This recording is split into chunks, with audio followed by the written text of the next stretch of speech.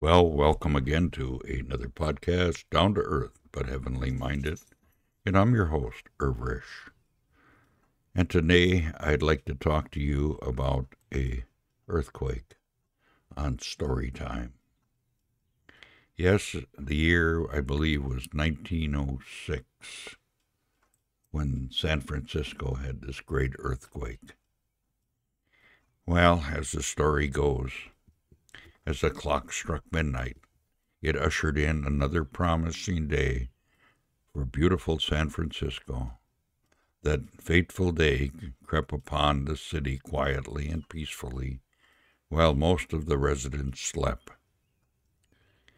It was approaching that early quiet hour just before the great city awakened for a new day. Suddenly the earth heaved and shook, and great stone buildings began to rock back and forth with frightening cries.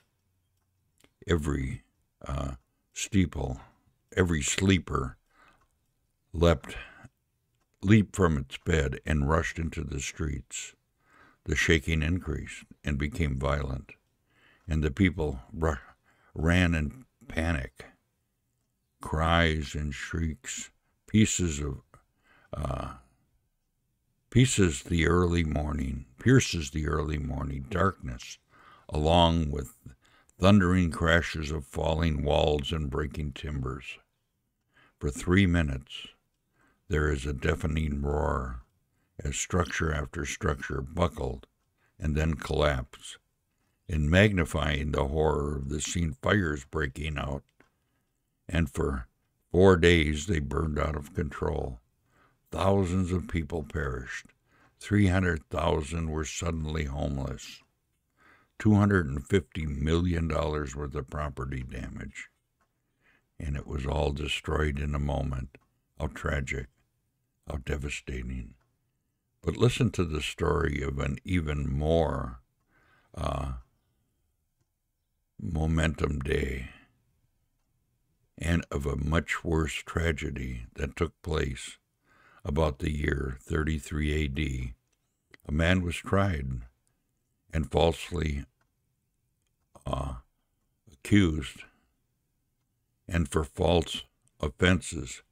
And the the crowd declaring him guilty his accusers uh, persuaded the governor to waive his power of pardon and to sentence this man to death by crucifixion the angry crowd surged about this man as he uh, patiently carried his cross up the hill where he was to be lifted up for all to see.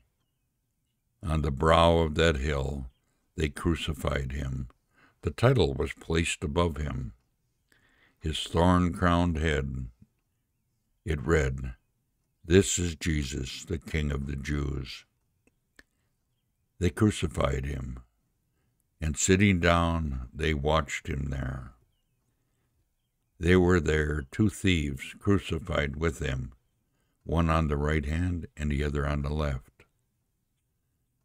And as they passed by, reviling at him, wagging their heads, and saying, If thou be the Son of God, come down from the cross.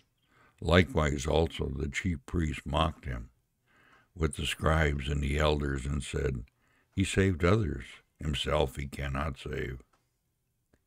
Now from the sixth hour there was darkness over all the land unto the ninth hour.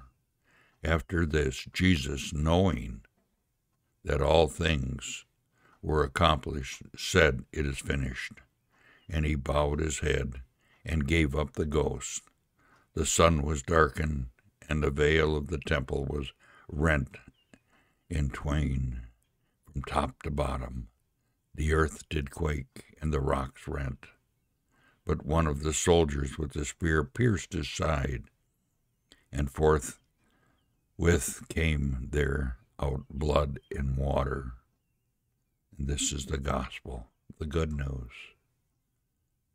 It was an appalling and unjust act on the part of those who crucified Christ, the Son of God.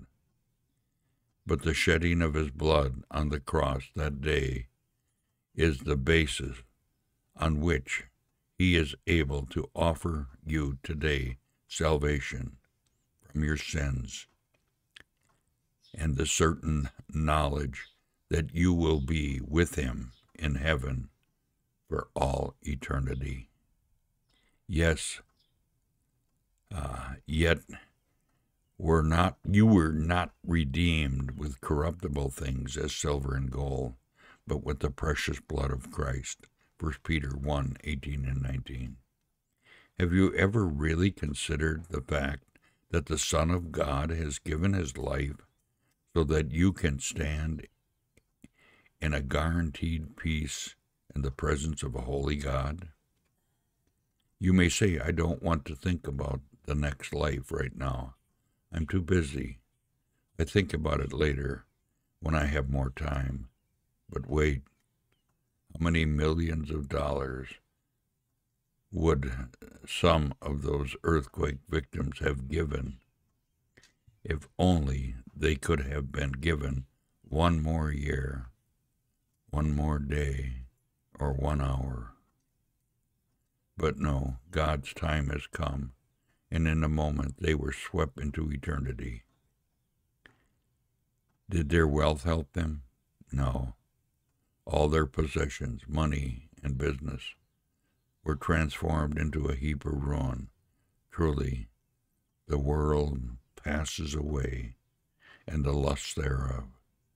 But he that does the will of God abides forever. 1 John 2:17. Don't ignore the certainty of coming judgment and the reality of eternity. Weigh those serious questions. Are your sins forgiven? Are you saved for an eternity in heaven? You may answer, I am doing my best.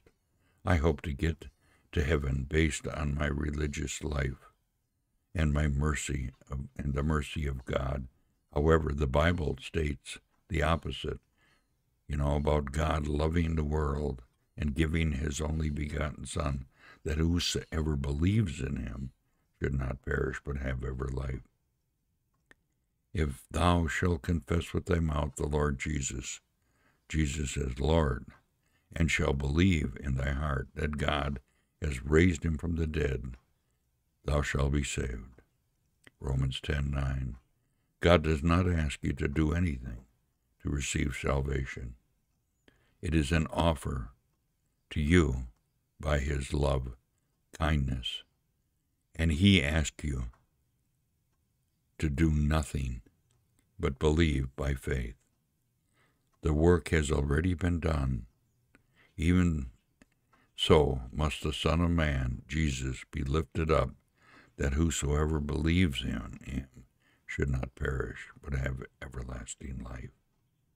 John 3 14 and 15. Well, that's my message for you today, and I will end with the same as I always do. God is out here. You can find him, he's in your Bible. With that, I will end. Bye for now.